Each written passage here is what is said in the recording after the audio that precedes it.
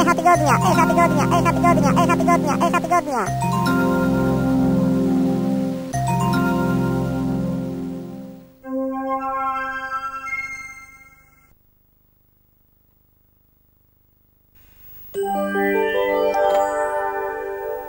Echa tygodnia, witamy Państwa bardzo serdecznie. Przez chwilę wróćmy pamięcią jeszcze do 1 listopada.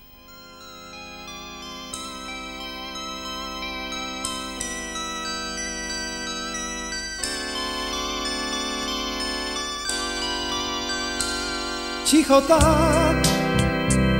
Wokół nas setek świec, rudawy blask. Tylko nieraz słychać w ciszy.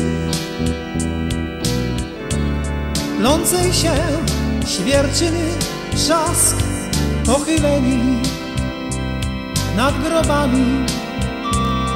Stoją ci, którzy przybyli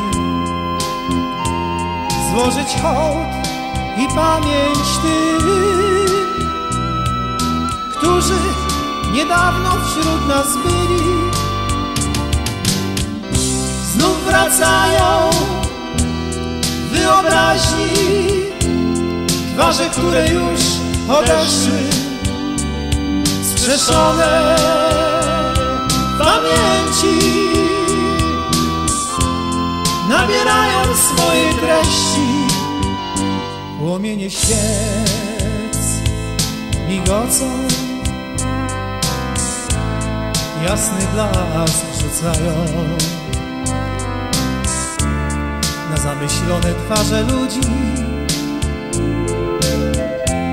na skupione twarze ludzi, na pomniki,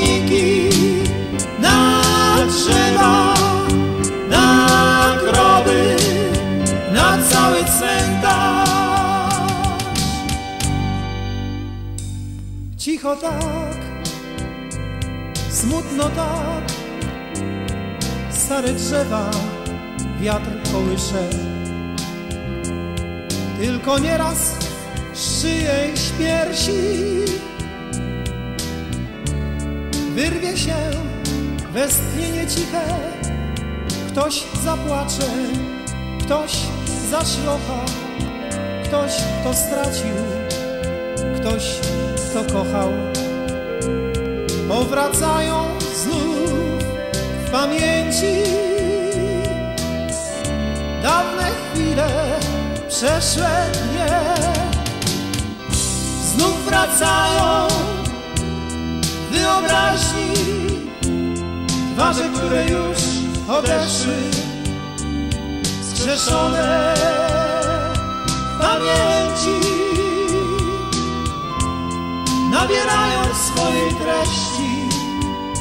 Płomienie świec migocą. Jasny blask rzucają. Na zamyślone twarze ludzi, na skupione twarze ludzi, na pomniki, na drzewa, cały cmentarz. Nad twym grobem stoję sam, wszystko sobie przypominam. W pamięci mej, jak w kolorowym filmie, widzę znowu Cię, Twoje oczy, Twoje usta, Twoją twarz, kochaną twarz. Widzę Cię, widzę Cię. Ten sam uśmiech na ustach masz. Znów wracają wyobraźni Twarze, które już odeszły Skrzeszone w pamięci nabierają swojej treści płomienie świec migocą.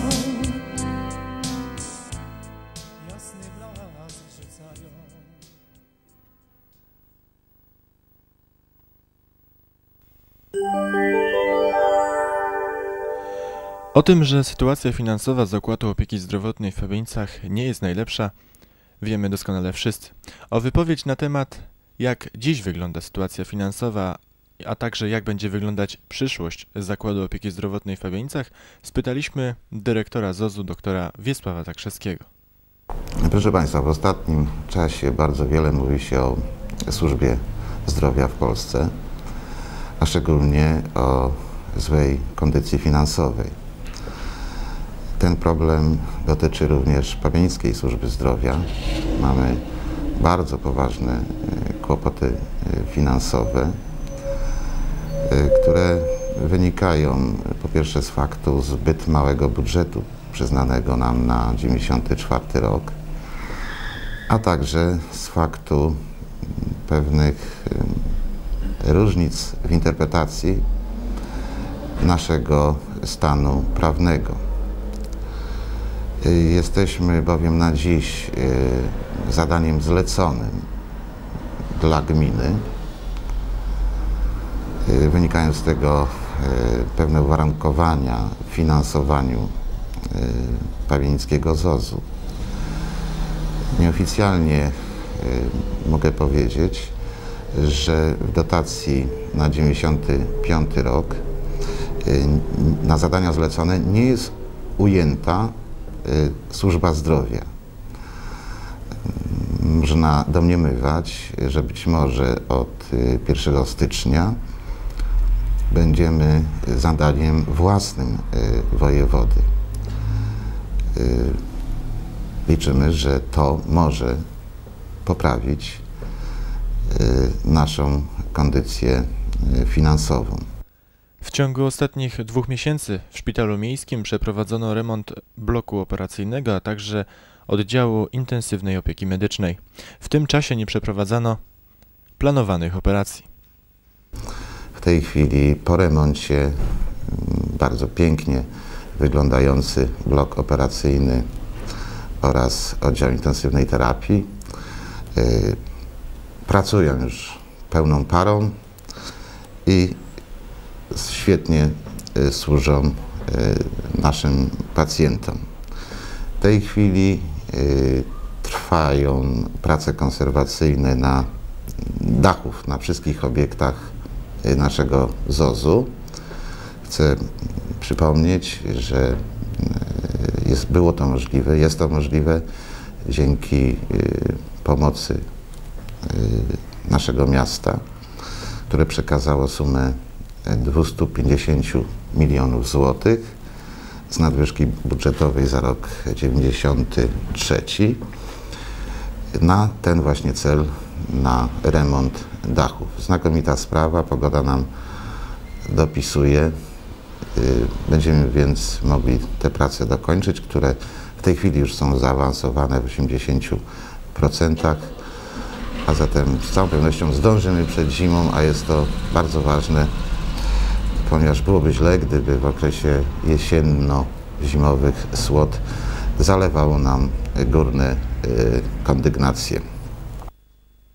W ubiegłym tygodniu informowaliśmy Państwa, że Fundacja Zdrowie dla Mieszkańców Pabianic zakupiła mamograf, który już niebawem będzie służył wszystkim pabiańczankom. Y, Jest to znakomity przykład y, działalności Fundacji Zdrowie dla mieszkańców miasta Pabianic. W tej chwili ten aparat do nas przybył.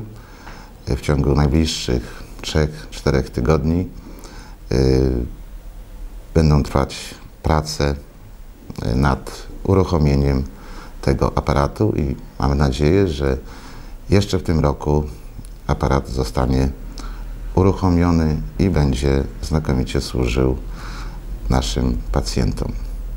Rak sutka występuje u 20% kobiet, u których występują w ogóle choroby nowotworowe. Stanowi bardzo istotne zagrożenie, jeżeli chodzi o śmiertelność. Występuje w czterech fazach zaawansowania. Okres czwarty, ten najpóźniejszy, daje kobiecie tylko 1,5% szans przeżycia ponad 5, lat, ponad 5 lat. W związku z tym celowe jest bardzo wczesne, możliwie jak najwcześniejsze wykrywanie raków sutka. Stosowana metoda palpacji umożliwia lekarzom stwierdzenie guzka o wielkości mniej więcej 1 cm. Kobieta, która sama siebie bada, wykrywa najczęściej guzki o wielkości 2 cm. Jest to już czasami zbyt późno na to, żeby doprowadzić do całkowitego wyleczenia. W związku z tym od 1951 roku wprowadzono na świecie metodę badania mammograficznego piersi. Jest to metoda, która przynosi znakomite wyniki, jeżeli chodzi o wykrywalność wczesnych faz raka sutka. W naszym zakładzie będzie otwarty w niedługiej przyszłości gabinet mammograficzny, gdzie chcielibyśmy poddać badaniom screeningowym wszystkie kobiety po 40 roku życia. W tym okresie wzrasta w znaczny sposób zachorowalność na raka sutka i zagrożenie tą jednostką chorobową. Kobiety młodsze będą badane tylko i wyłącznie w przypadkach, kiedy będą rozpoznawane zmiany przez lekarzy badających, przez najczęściej ginekologów. Do chwili obecnej pacjentki z wykrytymi zmianami w obrębie sutka musiały dość długo czekać na badania wykonywane w szpitalu onkologicznym lub w Matce Polce. Jak natomiast wszyscy wiedzą, rak sutka, jego przebieg jest czasami bardzo zdradliwy, bardzo szybko postępujący i wydłużenie czasu oczekiwania na badanie w znacznym stopniu skracało szanse kobiety na pełne wyleczenie w trakcie zabiegu operacyjnego. Rak sutka może dawać dość wcześnie przerzuty do węzłów chłonnych, które w pewien sposób dyskwalifikują w ogóle kobietę od leczenia operacyjnego. Mamy nadzieję, że fakt montażu aparatu mammograficznego w zakładzie Szpitalu Biernackiego umożliwi wszystkim paniom oczekującym w kolejce na badania przyspieszenie tego terminu i większe szanse na pełny powrót do zdrowia. Podajemy numer konta Fundacji Zdrowie dla Mieszkańców Pabianic 344 638 kreska 866 kreska 132 kreska 3 Powszechny Bank Gospodarczy Oddział w Pabianicach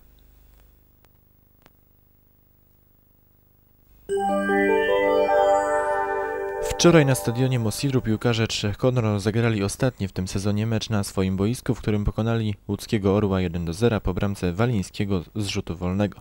O ocenę występu pabiańskich futbolistów, a także o przyczyny zmiany trenera pierwszego zespołu poprosiliśmy dyrektora klubu Pawła Szałeckiego. No, wydaje mi się, że wyniki trochę wymogły na nas tą decyzję. Wrócił Jurek Rutkowski, który jakiś wkład tu ma ten zespół i troszkę y, sam pan Andrzejowski stwierdził, że chyba nie da rady. Najpierw mu pomagał, jest przy zespole, teraz decydujący głos ma Jurek Rutkowski. No myślę, że się obronił jak na razie wynikami, bo już cztery punkty, także wydaje mi się, że jest to jakiś, jakiś krok naprzód. Ja nie widziałem całego meczu, bo wcześniej moja grupa grała tam sparring, ale widziałem drugą połowę. Przede wszystkim walka, jeszcze raz walka. Druga połowa słabsza, pod dyktando Orła. Może nie tyle przewaga sytuacji bramkowych, co przewaga y, w polu. No uważam, że troszkę sędzia dopuścił do zbyt ostrej gry. To jedna sprawa. Trochę kilka głupich kartek. No i rzut karny ewidentny. Uważam błąd sędziego. No ale to wynik poszedł w świat, jest 1-0, cieszymy się, odbijamy się do góry. Myślę, że ta progresja będzie przed nami. Jeszcze jeden mecz z Wartą, później okres przygotowawczy. Mam nadzieję, że ten zespół zacznie coraz lepiej grać. Kondycja finansowa klubu nie jest najlepsza. Nie dziwi zatem fakt, iż zarząd Trzech Koron poszukuje sponsorów. Jesteśmy w trakcie rozmów ze sponsorami drobnymi. To nie są żadni wielcy potentaci. Szukamy ludzi, którzy chcieliby się reklamować na naszym płocie na y, ogrodzeniu boiska, na płocie od ulicy Kilińskiego. Y, co do transferów. Mm, myślę, że ten zespół plus odzyskani zawodnicy, którzy chwilowo przerwali grę, może ze dwóch juniorów jeszcze dojdzie. Mamy w zainteresowaniach swoich jednego zawodnika, ale nie chcę uprzedzać. Grał dzisiaj, ale nie chcę uprzedzać. Yy, I wydaje mi się, że jesteśmy w stanie się lepiej przygotować. Przede wszystkim uważam, że zespół nie był przygotowany do sezonu. To jest jedna sprawa. Yy, Chcemy, mamy zagwarantowaną umowę z Zawiszą Bydgoszcz za transfer yy, dawniejszy Grzelaka obóz yy, w Bydgoszczy. Mam nadzieję, że uda nam się go zrealizować i myślę, że zespół będzie dobrze przygotowany na wiosnę, żeby poprawić tą swoją lokatę w tabeli. Przypomnijmy, że oprócz pierwszego zespołu w Trzech Koronach w piłkę gra ponad 150 chłopców. W jednej grupie juniorów, w jednej grupie młodzików, a także w trzech grupach trampkarzy. Ostatnio stworzona została grupa wczesnej specjalizacji. W tym miejscu trzeba nadmienić, że w Trzech Koronach działa również sekcja tenisa stołowego, która utrzymuje się sama, a także dwie grupy juniorów piłki ręcznej, których dotuje Wydział Infrastruktury Urzędu Wojewódzkiego Miasta Łodzi. My no, dziękujemy rodzicom, że na dzień dzisiejszy pomału to bardzo idzie, ale że łożą na swoje dzieci. Są po prostu zbierane składki. Różnie to w różnych grupach wygląda. Od 100 do 150 tysięcy i na swoje własne potrzeby tym rządzą rodzice i kierownicy drużyn i my w to nie wnikamy, a my w miarę możliwości pomagamy. To, co na razie możemy, to pomagamy, a resztę wszystko w zasadzie we własnym zakresie y, utrzymują się grupy młodzieżowe same. Dzięki pomocy rodziców i jak są drobni sponsorzy, to, to też pomagają. Tak wygląda praca w grupach młodzieżowych i nie ukrywamy, że na dzień dzisiejszy chcemy y, ustawić odpowiednio grupy młodzieżowe, żeby wreszcie może ten nabór był taki, jaki być powinien i ten napływ naszej uzdolnionej młodzieży do naszego pierwszego zespołu, a nie tak jak było dotychczas, że grał jeden wychowanek włókniarza czy dwóch na 2-3 lata w pierwszym zespole. Także myślimy, że nabór mamy duży, grupy mamy dość liczne. Z sukcesami różnie, na przemian. Raz są zwycięstwa, raz nie, jak to w grupach młodzieżowych, ale liczymy, że pomału, pomału od pierwszej grupy juniorów, zaczynając teraz, będziemy zmuszeni, bo nie mamy pieniędzy na to, żeby kupować innych zawodników, grać na własnych wychowankach. Wydaje mi się, że jest to zdrowe. Może nam się trafi drugi taki Piotr Nowak, i gdzie mądrze zawrzemy kontrakt, że będziemy z niego żyć na przykład 5 czy 10 lat. Z jego jednego transferu czy dwóch. Do tej pory nikt o tym nie myślał, ale myślę, że jest tu tylu młodych, zdolnych, że będzie w stanie może kiedyś ten zespół trochę dźwignąć wyżej. W dniu dzisiejszym w Miejskim Ośrodku Kultury przy ulicy Kościuszki odbył się pokaz systemu informacji o terenie. SIT jest formą organizacyjną kontrolowanego przepływu w państwie lokalizowanej przestrzennie standaryzowanej informacji o właściwościach terenu, jego podziałach, sposobie wykorzystania i uprawnieniach osób władających składnikami jego zagospodarowania. Dzisiejsze spotkanie otworzył prezydent miasta Babianic Jacek Gryzel. Dzień dobry Państwu. Jest mi niezmiernie miło powitać wszystkich Państwa na okresowej naradzie dotyczącej systemu informacji o terenie, poświęconej głównie ocenie wyników, jakie zostały uzyskane w trakcie wdrażania tego systemu na terenie rejonu badenickiego. Jest mi niezmiernie miło występować w roli gospodarza, y, współgospodarza z Panem Dyrektorem y, Remigiuszem Piotrowskim, głównym geodetą kraju. I chciałbym w tej chwili bardzo serdecznie powitać wszystkich gości zaproszonych. Przede wszystkim Pana Ministra Bogdana Zielińskiego, Ministra Sprawiedliwości. Równie serdecznie witam Pana Macieja Czałekowskiego, prezydenta miasta Zgierza, który na dzisiejszym spotkaniu reprezentuje Związek Miast Polskich.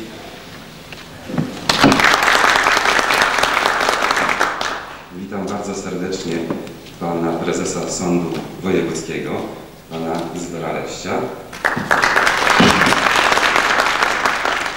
Witam również Panią y, kierownik rejonu Pawłowskiego, Panią Grażynę Kaczmarek. Nie mogę niestety w tej chwili jeszcze powitać y, osób również zaproszonych Pana Wojewodę Andrzeja Pęczaka i Pana Prezydenta Marka Czekowskiego. Mamy nadzieję, że niebawem do nas również dojadą i wtedy to uczynimy. System informacji o terenie, program modernizacji stały się ideą przewodnią dla zespołu doradczo-konsultacyjnego pilotowej modernizacji SIT, który działa już ponad półtora roku przy głównym geodecie kraju. W skład jego wchodzą przedstawiciele Urzędu Wojewódzkiego, główni wykonawcy modernizacji SIT, pracownicy Departamentu GGK, odpowiedzialni za SIT oraz finanse, a także kierownik Biura do Spraw SIT. Państwowa Służba Geodezyjna i Kartograficzna właściwa w sprawach systemu informacji o terenie przystąpiła w połowie 1991 roku do metodycznego porządkowania swoich zasobów informacyjnych na terenie województwa łódzkiego. Nastąpiło wówczas podpisanie porozumienia między ministrem gospodarki przestrzennej i budownictwa, wojewodą łódzkim i prezydentem miasta Łodzi o wspólnym modernizowaniu SIT.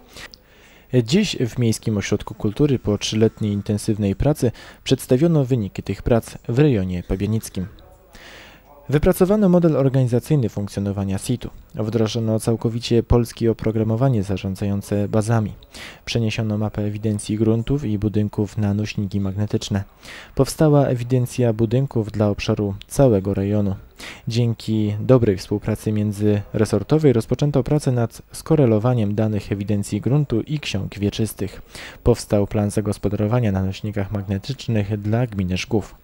Na ukończeniu są prace nad powszechną taksacją nieruchomości gminy Żgów w oparciu o funkcjonującą bazę ewidencji gruntów i budynków oraz plan zagospodarowania przestrzennego. Dzisiejsze spotkanie miało za zadanie zaprezentowanie tego, co już zrobiono, ale także wysłuchanie opinii przyszłych użytkowników SIT-u, ponieważ zakłada się, że po wykonaniu odpowiednich prac przygotowawczych województwo łódzkie stanie się znakomitym poligonem doświadczalnym nie tylko dla kolejnych faz modernizacji krajowego systemu informacji o terenie, lecz również dla wszelkich eksperymentów i pilotowanych wdrożeń wykorzystujących katastralne i geograficzne bazy danych. Bazy danych, przepraszam. E, szerzej o SIT będziemy mówić również w Pabianickim Monitorze Samorządowym, natomiast dziś w Wechach Tygodnia to wszystko. Dziękując Państwu za uwagę, zapraszamy na kolejne wydanie za tydzień o godzinie 17.30, oczywiście w poniedziałek. Do zobaczenia.